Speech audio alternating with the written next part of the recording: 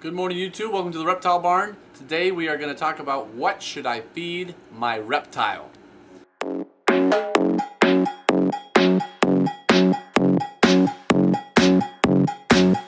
Um, Behind me we have rats, we have mice, we have more mice, we have more mice, we have rabbits, we have salmon, we have more rabbits, we have gerbils, we have more salmon, we have quail, we have all sorts of things in here to feed a reptile, right? Mostly snakes, but also lizards.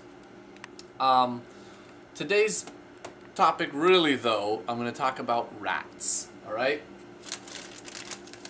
package has one medium rat left in it from Perfect Prey, who is awesome.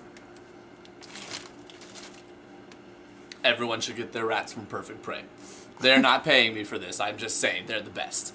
Um, Rodent Pro is pretty good too, but Perfect Prey. Mm. So, I'm going to move because it's really cold right here. I'll be right back. So, in the reptile hobby, it's kind of standard to use rats if at all possible. Um, this has created the belief that rats are the healthiest thing to feed your reptile, especially if it's a snake. I think this is total baloney. Uh, I've talked a little bit about this before, but it just it irritates me, so I'm going to bring it up again. Um, we use rats because they are legal almost everywhere and because they are convenient. That's it. That is why we use rats. Their size and their productivity as far as breeding uh, is very, very, very convenient for us to use. They breed really, really quickly. They grow quickly. They're efficient. You know, the amount of feed you put in as far as the rats you get out. Um, they have huge litters. They're easy to keep, right? Um, most people can get their rat colony to breed year round. Uh, there's just there's a million reasons that they're convenient. Um, they're not usually aggressive. They're pretty good. You know, you don't you're not getting bit all the time. Now I'm saying all these things, but here in Alaska, it's actually illegal. I have been bit by rats when I've messed with them. So, you know, there's exceptions, but in general, they really are super, super good feeder animals for our convenience. What about for our snakes? Well, the amount of experience out there says that clearly they're a pretty good feeder item because people are getting their ball pythons up to 40 years old on rats and people are getting their whatever uh, to a nice healthy age, breeding year after year after year without too many problems. Uh, clearly, rats are pretty good nutrition for a reptile. But when people try to say they're healthier than X, you know, a mouse or a rabbit or whatever, or, or even birds, they're full of it. Now they'll point to studies saying the protein to fat ratio of a rat is, you know, X and Y, but with mice it's this. And so this the rat one is better. But what does better mean? That totally depends on the nutritional requirements of the animal eating it.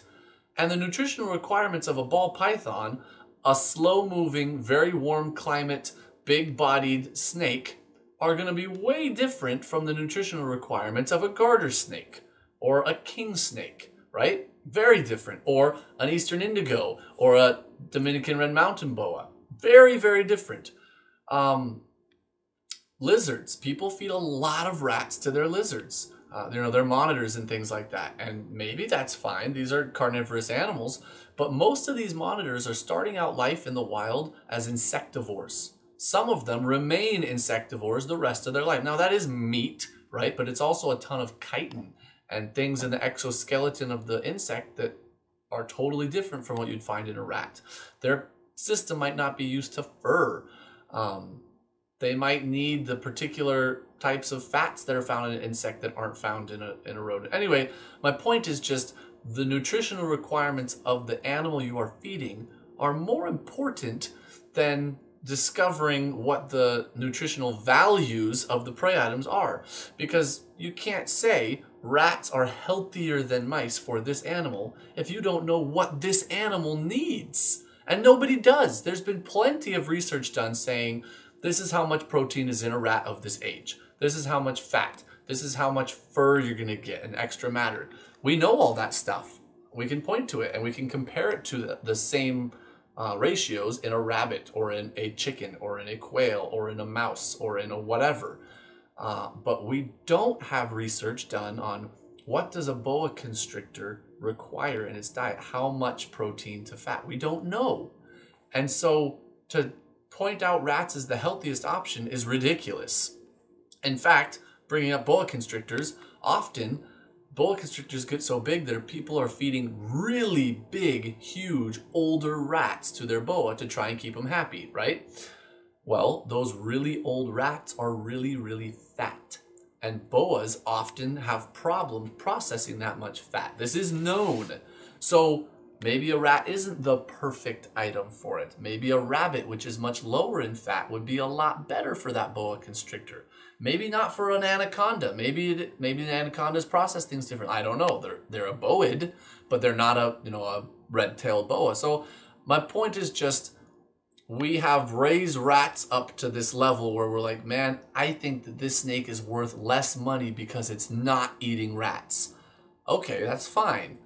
But that doesn't mean the snake is less healthy. It just means that you don't want it because you like the convenience of the rat. Those are two different things. And as the consumer, you have every right to say, oh, I'm not going to get an animal unless it's eating what I want to feed it. But you can't then take it that next step and say, I'm doing it because it's best for the animal. No, you're not. It's best for you, right? Uh, I try and get lots of my animals onto rats because they're convenient. But I'm not sitting here telling this ball python that really wants mice, you're being less healthy because you're eating five mice as opposed to one rat. In fact, striking and coiling five mice for a meal instead of one rat is probably a lot better exercise for an animal that lives most of its life in a little tub than if it just eats one prey item that's just again this is not based in research this is just my thoughts that i'm spewing out at you because it frustrates me how much people have glorified the rat uh, in reptile keeping uh, I, I know I'm being melodramatic. Liz behind the camera here is laughing at me. Sorry. But it's true, isn't it? Uh, I mean, people no, really, uh, to the point where they want the price of the animal to drop if it's not on rats. That's crazy. Um, Yeah, no, I get it. And we get really funny looks when we tell people that we feed our snakes things like gerbils or salmon or quail because they're like, Right, oh, why would you right. do anything but rats? Now, our eastern indigos, they're kind of a special case because they are a known generalist. They will eat anything and they're not going to get stuck on one prey item. This is something to bring up. As long as I'm talking about all these reasons why rats aren't the best, at least it's something that we know your snake can thrive on for its entire life and breed and all of that and be healthy. Whereas if it got stuck on a quail or a chick from like, you know, a chicken, maybe it couldn't. I don't know. I don't know too many people who have fed their ball python exclusively poultry. My guess is that in the wild, that is not their diet, right? I, I'm pretty confident in saying that they're eating a lot of rodents in the wild. So if your ball python really likes chicken and it will only eat chicken now because that's what it likes, then ball pythons do do this, then you might have a problem. So that's something to consider. Most of these extra prey items we're feeding, we're feeding to our indigos, we're feeding to our monitors, things that will happily eat anything if it smells vaguely like food. Um, but the ball pythons, that's not the case, right? Many many snakes will get kind of stuck on a prey item. They'll they'll find their favorite, and uh, they'll go months if they have to on a, a starvation fast, trying to wait you out until you offer it what it wants again. Uh, this is very aggravating, but it is true. So don't just be like, oh, well, variety is best, right? So I'm going to feed it all sorts of stuff. Be careful. If you don't have good access to a constant supply of, you know, African soft fur rats or gerbils or something that ball pythons are known to really like, and you feed it to them two or three times because you just want to, it might not ever take rats again.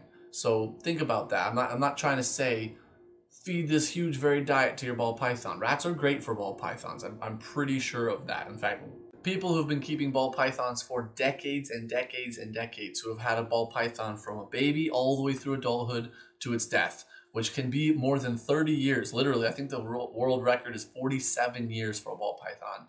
Yeah, that's an old snake. Um, on rats their whole life. So they, they can thrive on rats. If that's what you've got, please keep feeding them rats. That's great.